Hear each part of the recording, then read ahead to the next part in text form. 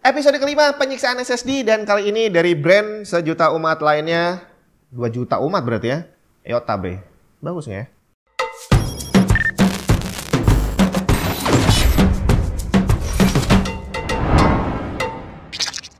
SSD kenceng nggak akan bagus kalau sampai overheat. MSI Spectrum M480HS bukan cuma kenceng tapi juga adem. Termasuk salah satu NVMe Gen 4 tercepat di pasaran dengan transfer rate up to 7000 MB per second.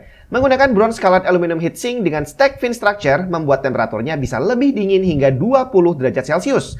Cocok banget buat upgrade storage PC atau PS5 kamu. Selengkapnya cek link di bawah.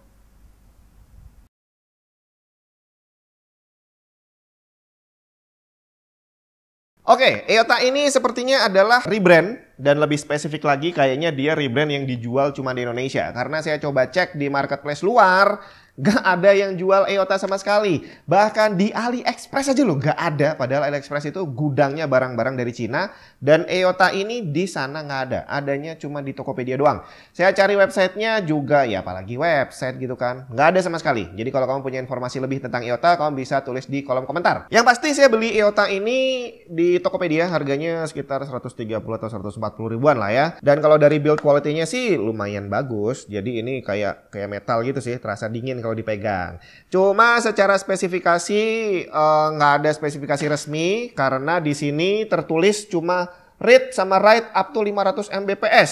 Kayak nggak nyeni gitu loh. Maksudnya 500 sama sama 500. Biasanya kan write-nya lebih lambat. Ini ditulisnya full bre. Nggak tahu bener atau nggak. Terus TBW juga nggak tertulis. Tapi yang jelas nih. Di packingnya sini tertulis high speed transmission stable performance. Kita buktiin aja bener atau nggak. Kita mulai tesnya dengan Crystal D Smart dan terlihat speednya kayak gini. Ya masih beda-beda tipis sama spek lah, standar. Kemudian penyiksaannya saya langsung pakai SSD stress test dan diawali dengan write speed yang normal di angka 430-an Mbps. Tapi baru jalan sekitar satu jam speednya udah drop bre dan ini berlangsung terus sekitar 11 menit berikutnya. Habis itu speednya normal lagi sampai cegukan lagi sekitar 15 menit setelahnya. Terus memasuki jam kedua speednya drop lagi dan ini terjadi berulang kali. Sampai di jam ke-12 dropnya lumayan parah dan juga lumayan lama. Kita bisa lihat di sini bahwa selama speed drop write activity-nya masih 100% terus. Jadi dia udah kerja full load tapi memang speednya yang parah. Pada jam ke-14 saat SSD sudah terisi sekitar 19 TB data, saya lakukan speed test dan hasilnya masih normal. Mungkin karena speed test Crystal Dismark ini cuma pendek-pendek kali ya, jadi dia masih bisa ngecit lah. Tapi begitu saya lanjutin stress testnya, langsung baru mulai udah batuk-batuk lagi. Dan begitu terus sampai memasuki hari kedua. Speednya naik turun semaunya sendiri dan kalau pas lagi drop bisa lama banget. Pada jam ke-38 sekitar TBW 48,6 SSD-nya mulai batuk darah bre. Write speed-nya drop semakin parah dan semakin lama. Kadang bisa naik full speed tapi hampir sepanjang waktu dia seperti udah nggak sanggup kerja lagi. Sampai pada akhirnya di jam ke-49 hampir menyentuh 62 TBW, write speed-nya down untuk selamanya.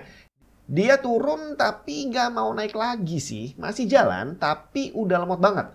Saya tutup jam ke-52 dengan speed test dan confirm read speednya masih normal tapi write speednya udah resmi busuk.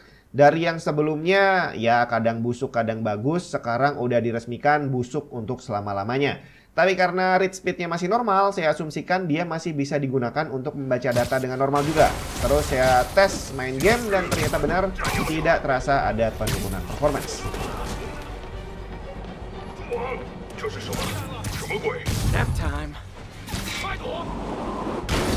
Yap, itu tadi hasil tesnya EOTA yang ternyata lumayan. Bukan lumayan sih, parah sih. Jadi kalau sebelumnya saya ngetes RX7 itu termasuk parah, ternyata si EOTA ini jauh lebih parah.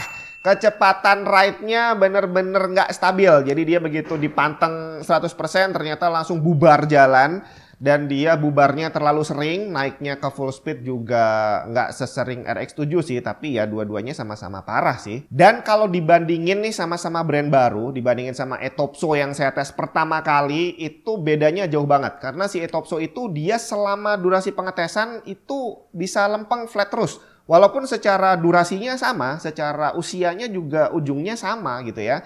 Tapi bedanya si Etopso itu dia punya website sendiri dan di websitenya itu dia mengklaim bahwa dia punya pabrik dan dia produksi sendiri bukan rebrand. Sedangkan si EOTA dan RX7 itu nggak ada informasi apa pun jadi bisa kita asumsikan bahwa mereka rebrand. Dan ternyata dari sini udah mulai terlihat bahwa klaimnya Etopso ternyata terbukti dengan produknya yang memang lebih stabil, cenderung lebih stabil dibandingin dua ini. Apakah rebrand yang lainnya kondisinya akan seperti ini? Saya nggak tahu. Kita akan tes lebih lanjut lagi. Kita akan siksa SSD lebih banyak lagi. Tapi yang jelas untuk uh, SSD 120 dan 128 yang udah saya tes, Etopso RX7 dan EOTA ini uh, secara usia ujungnya tiga-tiganya sama 61 terabyte kurang lebihnya di situ.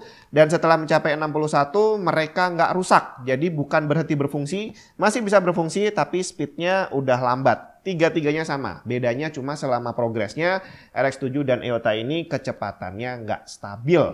Dan kalau pengen tahu gimana brand-brand rebrand yang kayak gini performanya seperti apa kita tungguin minggu depan